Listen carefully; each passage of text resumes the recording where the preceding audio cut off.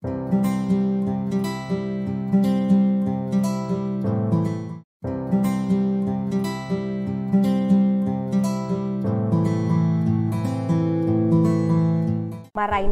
mga akes, ngwana, sa atong pag-iingwaan kan MTB sa quarter 3, week 3. Kan sa atong leksyon wana ay manungod sa pagnilala ni kan mangibaybang parte ni kan dyaryo o newspaper. Kan sa atong kasanayang pampagkatuto para sa leksyon natin wana ay identifies the parts of a newspaper o kaya sa bibisa rin nato nilalen kan mangibaybang parte ni kan usad na dyaryo. Maya mo nang maingakeran kan sa atong bagong leksyon wana? Parna, punan tana. Kiten kading retrato. Uno raw kadi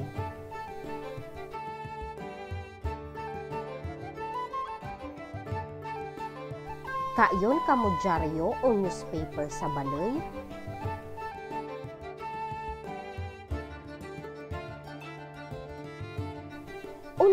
Kan makikita ta sa dyaryo. Tama!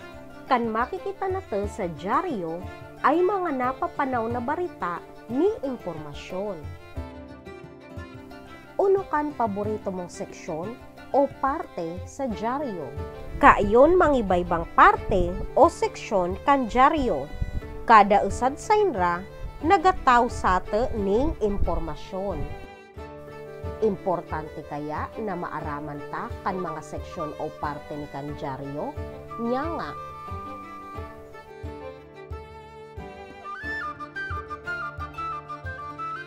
Tama! Importante na habang akos pa kita, maaraman ta kan mga seksyon o parte ni kan dyaryo. Tabawat sa didi ay nagataw ning importanteng detalye manangod sa ibaybang paksa. Uno kan dyaryo. Kan dyaryo ay isad na maray na babasang sa pagkukuning mga impormasyon. Mababasa na ta idi kan mga napapanaw mi bagong barita sa leg mi luwas ni kan bansa. Adalan kading mga iba-ibang parte ni kan dyaryo o newspaper sa tabang ni kan Simon Gurang. Kan primerong parte na sa atong aadalan ay kan news page. Amo kadi kan primerong seksyon o parte ni kan maskiyunong klase ning dyaryo. Kading news page kan pinakaimportanteng parte ni kan dyaryo taidi na to mababasa kan mga bago mi primerong barita sa luwas mi ileg ni kan sateng bansa. Sunod kading sports page. Amo kadi kan parte ni kan dyaryo kinsay na mababasa kan mga barita manungod sa iba-ibang klase ning amon o sports. Pangtulo, kading business page o section. Idi na mababasa kan mga impormasyon o barita manungod sa negosyo, stock exchange, saka mga pangkabuhayan na programa o proyekto. Sunod ay kading obituaries. Idi sa parteng kadi na to mababasa kan pangaran ng mga nagaran. Kay ba sa mga impormasyon o detalye ng nagaran na tao. Panglima ay kading entertainment page. Idi na to mababasa sa mga artikulo na kantuyo ay magtaw ning kaugman, magturo ning mga bagay na ikaugma ni kan mga parabasa. Sa parteng kadi na to, mababasa kan mga barita manungod sa mga artista o showbiz, may idi man na to maanap sa mga comics, crossword puzzle, horoscope, may iba pa. Kadi naman na classified ads, idi na to mababasa kan mga impormasyon manungod sa bagong produkto, trabaho, mga nangyayari o events. Idi man nato makikita kung anong mga serbisyo kan pwedeng ipaglingkod. Kadi naman na editorial page, idi nato mababasa kan personal na ideya o sabot-bot ni kan writer manungod sa napapanaw na paksa o tema. Mga kus, natandaan nyo ba sa mga iba-ibang parte ng dyaryo o newspaper? Kitan ko raw kung talagang naramraman, simbagan na to kading gibon mo. Direksyon, basan kan lambang sitwasyon, isurat sa notebook kan tamang simbag, kinunong parte ng newspaper o dyaryo kan tigatukoy sa sitwasyon. Number 1. Maganap si Andy ning trabaho. Unong parte ni kan newspaper kan dapat niyang anapun.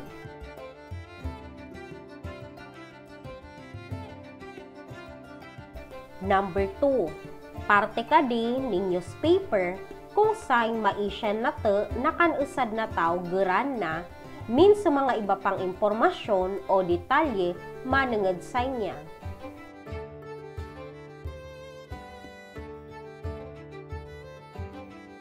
Number 3. Piga iristorya ni Dick kan manungod sa panggana ni Manny Pacquiao sa boxing. Say na seksyon o parte ni ka newspaper kadi maanap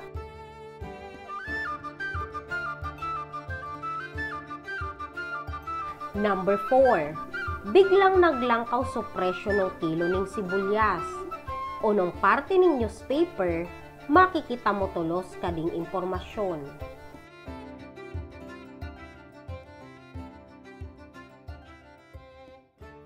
Number 5, idi sa seksyon na kadi pigasurat kan mga opinyon, ideya o kaisipan na masasabi ni kan isad na writer manungod sa mga iba-ibang klaseng sitwasyon o paksa o nung parte ni kan newspaper kaya kadi.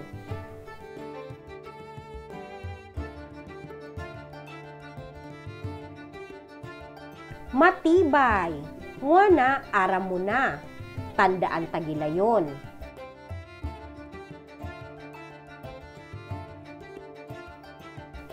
Kandyaryo ay isad na maray na babasang sa pagkukuning mga impormasyon. Mababasa na kaidi kan mga napapanaon mi bagong barita sa leg mi luwas ni kan bansa. Balikan nato sa mga parte ni kan dyaryo. Number 1, news page. Amo kadi kan primerong seksyon o parte ning maski unong dyaryo. Number 2, editorial page amo kadi kan parte ni kan dyaryo na kinsain pigatugutan kan mga parasurat o writer na magtaw ni kan sandrang opinyon o kaisipan. Number 3, entertainment page. Mababasa idi kan mga artikulo na kantoyo magtaw ning kaugman o magturo ning mga bagay na ikaugman ni kan mga parabasa. Number 4, sports page Amo kadi kan parte ni kang dyaryo, kinsain mababasa kan mga barita, manungod sa iba-ibang klase ng amon o sports. Number 5, classified ads. Nagataw ning mga impormasyon manungod sa bagong produkto, trabaho, sa mga nangyayari o events. Sunod ay kading obituaries. Idi sa parteng kadinato mababasa kan pangaran ng mga nagaran. Kay ba sa mga impormasyon o detalye ng nagaran na tao. Kading business page o section, idi na mababasa kan mga impormasyon o barita manungod sa negosyo, stock exchange, saka mga pangkabuhayan na programa o proyekto Importante bilang atus pa kita na maaraman tanakan iba-ibang parte o seksyon ni kandyaryo. Tanganing madali natang maanap kan gusto natang impormasyon. Tandaan mo kading mga seksyon na kadi. Aramon mo gilayon, kinunong parte kadi ni kandyaryo.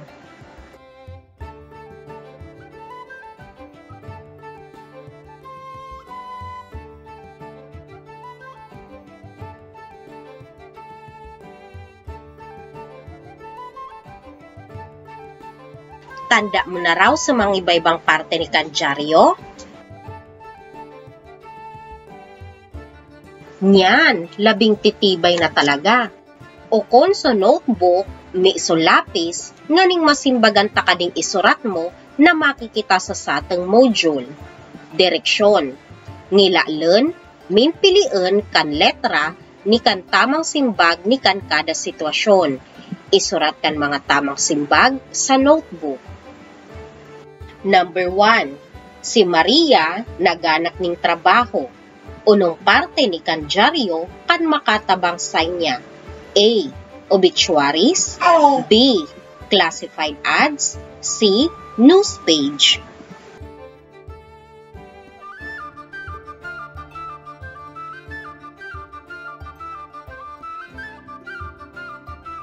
Number 2. Sabi ni Mama, nagbasa ka ning barita?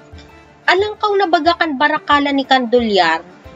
Unong parte ni kan periodiko kan pigabasa ni Mama. A. News page B. Entertainment C. Business page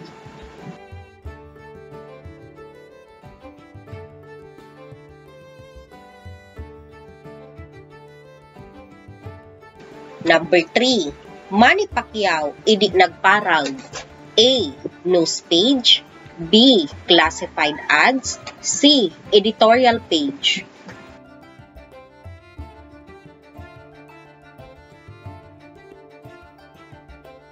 Number 4. Paisi sa publiko. Si Juan de la Cruz nagtalikod na sa kinaban no Septiembre 10, 2020 sa Bicol Catholic Cemetery sa oras nin alas 3 ning apon. A. News page B. Entertainment page C. Obituaries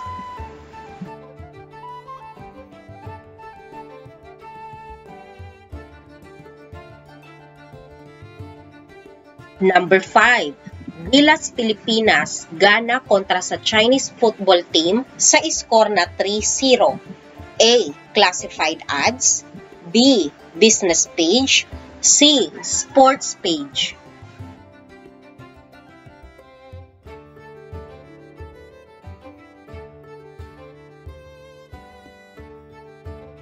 Very good! Now, kumusta tamang mga simbag? Palakpakan kan sa mga sadiri. Pumili idi sa performance task kung arin kan kaya, mimuya mong gibon. Magapili ako ning limang akes na kaayon nagibong magayon, may pinakamaray na output. Siyempre, kan manggagana ay kaayon premyo ali sake. Excited na kamo? Tara, pumili ka na! Sa mga akes na kaayon cellphone o kaya laptop, mag-record ng video habang tigasabi mo sumangibaybang parte ni kandyaryo o newspaper. Gamitan ka ding rubric para sa video na gigibon ninyo. Angalanta ka ding pupil vlog. Uno kan vlog? Kan vlog ay video log na kan ibig sabihin ay pag video say mo habang nagabisara ka manangad sa usad na paksa o tema kitan kading akes na babay sa ampang ni kan kamera. Kaya mo man gibon kan gigibon niya? Angalan ta kading pupil vlog. Ado yon sa mga kriteria o rubric na dapat mong tandaan habang gigibo mo kan say mong vlog manungod sa mga iba-ibang parte ni Kanjaryo. Clarity and volume for 5% puntos kadi na mauko mo kung paano ka nagabisara mi so tamang kasag no boses mo habang piga video ka. Enthusiasm for 5%. Puntos kadi na mauko mo pag ipinakita mo kan confidence o tiwala sa say mo sa diri habang naga-video ni napaugma mo kan tao na nagkikita say mo ta nagataw ka na ning impormasyon na naingagran mo sa leksyon na to content for 5%. Puntos kadi para sa mga sisabi mo o bibisara mo habang piga video ka. Kan bang sisabi mo ay tama? O naisasabi mo ba ning malinaw kan mga detalye? And creativity for 10%. Alang kaw kading puntos na kadi, nyata. Kading puntos na creativity ay puntos na itataw sa mo para sa mga ginamit mong materyales o bagay habang naga-video ka. Halimbawa, naggamit ka ning dyaryo ta ipakita mo sumangibaybang parte ni kan dyaryo habang pigasabi mo kung unong impormasyon kan maukoy di. Pwede ka man gumamit ng mga colored papers o kung ano pa. Pwede ka man gumamit ng mga video applications o apps para mas lalong mapagayon kan sa imong vlog. Kan pagpangilala ni kan sa diri mo, ni kung manangad sign kan sa imong vlog na pwedeng makita sa kapinunan o bago magtapos kan sa imong video ay kay ba sa grade o puntos ni kan creativity para sa mga akos na ida cellphone, pero kayon ban paper, crayola o materyales na kayon sila sa balay, magagibusin raning scrapbook. Manungod sa mga ibaybang parte ni kandyaryo o newspaper na naingat karan nato sa leksyon na tangwana. Gamitan ka ding rubric para sa scrapbook na gigibon ninyo. Uno kan scrapbook kadi ay art sa pagusay ni pagpakita ni kan mga detalye na naingikeran mo sa satang leksyon. Pwede mo kading dekoraran nganing mapagayon kan say mong output kitan kading halimbawa. Kaya mo man makagiboning arag ni kadi? Ang ta kading newspaper scrapbook Ado yon sa rubric para sa newspaper scrapbook na dapat mong tandaan habang gigibo mo kansay mong output. Neatness, 5%. Puntos ka din na mauko mo pag malinig kan ipapasa mong output. Content, 5%. Puntos ka din na mauko mo kung sa mga impormasyon na sinurat o binutang mo sa Simon scrapbook ay naipakita mo ning tama. And creativity for 10%. Alangkaw kading puntos na kadi, tamakikitay di kung pauno mo ginibo o pinakput sa mga impormasyon na ibubutang mo sa scrapbook ni sa mga materyales na ginamit mo. Tara, nakapili ka na kung aring na output kan mo yamong gibon